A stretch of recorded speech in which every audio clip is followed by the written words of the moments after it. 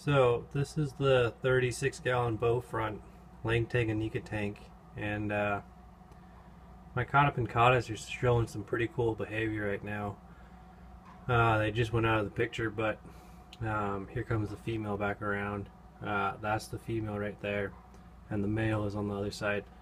But right now she's, uh, if you see her, she's the top of her, she'll like point her head down and she's scaring off some of the Julidochromis marlieri fry from her, her, her spawning site, her nest.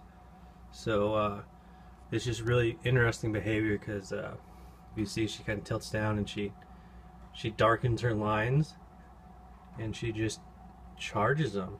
It's insane.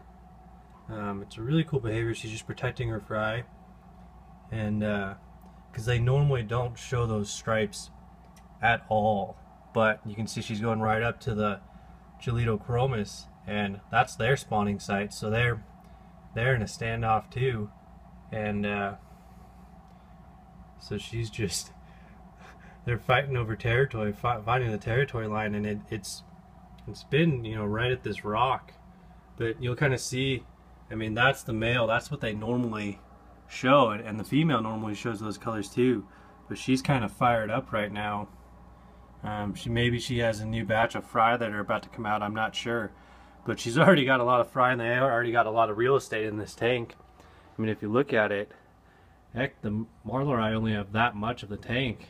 Um, Cauda are actually starting to take over. I might need to. I need to pull out some more of these little baby fries. I've pulled out a lot of them already, but they're they're just growing so well and doing so well. It's uh, pretty impressive. But I just wanted to show the behavior of. Uh, at Cauda you know, showing different colors and just really being great parents. And uh, the Marlieri are holding their ground, you know, because this this behind this rock is their nesting site, and I know they've just I just saw a new batch of, of little fry in there, so it's uh, pretty interesting to see what these what these guys do. Yeah, because there's the female right now normally, but she's just been.